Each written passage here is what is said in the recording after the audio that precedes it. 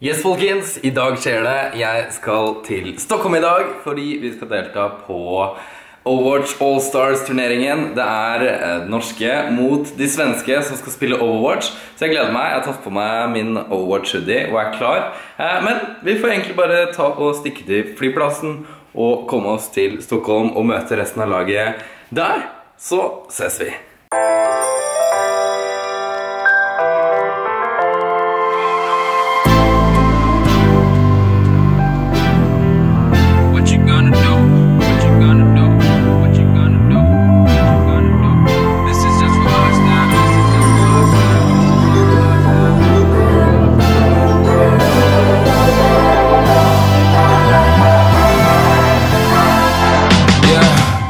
I can never ever find the right words. And there's no way this is real life. There's no telling you're the right girl. So I can only say that it feels right. It feels right. It feels right. Yeah, I can only say that it feels right. It feels right. It feels right. Yeah, I can only say that it feels right.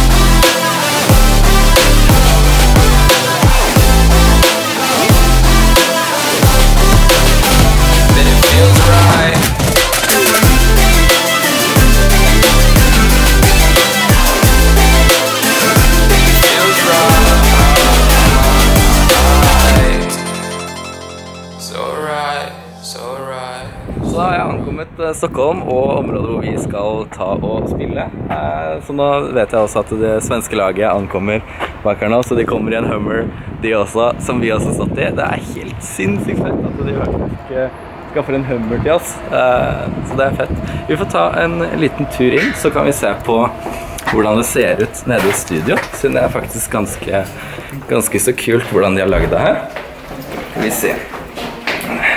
Jeg tror det kommer til å bli sinnssykt varmt i det studio. Men det ser dødsfett ut. Skal vi se, nå går vi inn her. Sånn her ser det ut. Så ganske fett. Så det blir spennende. Så nå veldig veldig snart så starter eh, gamet. Det blir veldig spennende. Uh, gleder du deg, eller Henrik? Ja, jeg føler meg definitivt best. Uh, ikke bare på vårt lag, men på begge lagene. Du er best på begge lag. Takk. Skal du spille for de òg? Nei, nei, jeg bare Nei. Nei, Jeg er best av alle på begge lag. Oh, ja. ja det er føler meg. viktig å formulere seg riktig nå. Jeg blir nervøs. Ja, nei, jeg skal ikke spille for lag. Svenske! Ja, svenske. Vi skal knuse svenskene! Knuse svenskene! Alright, så det gikk ikke helt veien. Svenskene tok oss. Og her ser jeg Emma.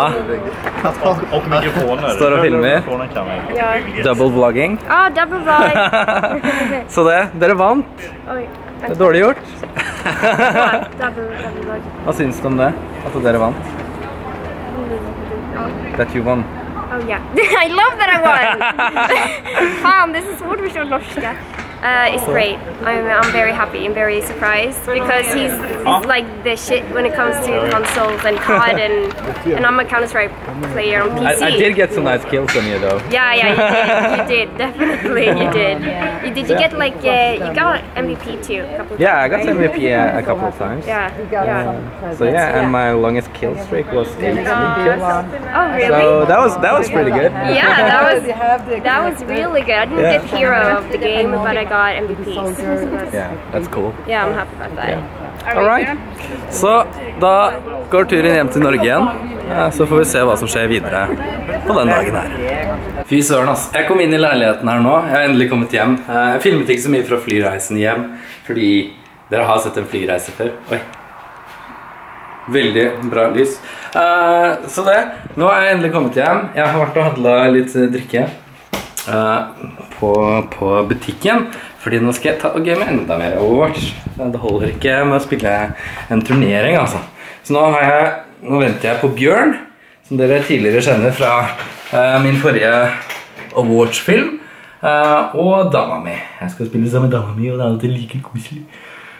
Så det er fantastisk dag i dag. da. Utrolig kult. Og det å bli henta med Hummer limo på flyplassen, det er helt sjukt. Det er faktisk helt, helt sjukt. Men det var utrolig moro og utrolig bra, bra opplegg av Blizzard. Eh, Så stor takk til de. Det er bare helt rått at de tar meg med ut, så det setter jeg stor pris på. Eh, men uansett, folkens, jeg tenkte å ta og rappe opp eh, episoden her sånn. Så jeg vil bare si tusen tusen hjertelig takk for meg, og tusen tusen hjertelig takk for at du så på.